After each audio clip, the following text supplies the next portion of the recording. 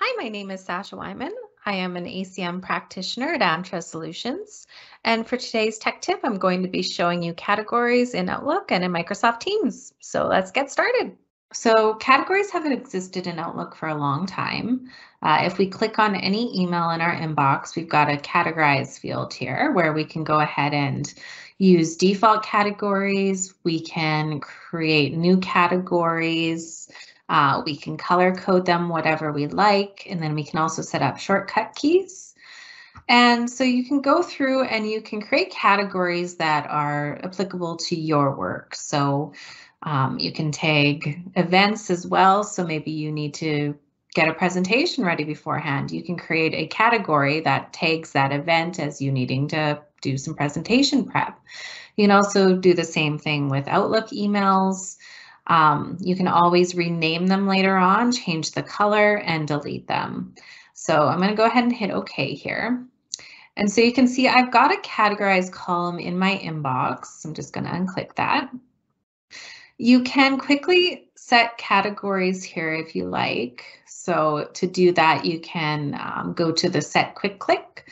And if you're going to have one category that you're going to be applying often to your inbox, you can go ahead and you can choose that. So I'm going to choose this one. So then anytime you click, it's automatically going to be applying that category to the email. Or you can right click and you can choose your different categories. Now you can also filter your inbox by your categories. So if you hit the filter here and then you go ahead and select categories, you can see that my inbox is automatically changing um, and creating a menu of just those category items. So this is a really good way to keep your inbox organized. You can also search by categories in the top box. So very easy to find what you need. Now, if we go to our calendar, the same thing applies here. We can click on any calendar event and you can see I get a categorized window here.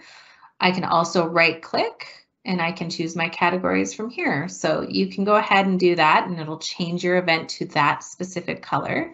So a really good way of visually seeing what that event is about or maybe a task that you need to do along with that um, event. And then you can always clear categories and you can also apply more than one. So if you know you're going to um, need a review of it, you can go ahead and do that and then do that. And then you can see that it applies the categories on the far right.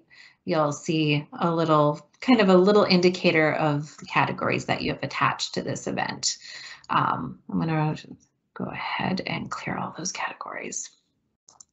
So you can apply as many categories as you want, like I said but we can also um, go into Teams now. And so what they've done is they have made categories available in Microsoft Teams.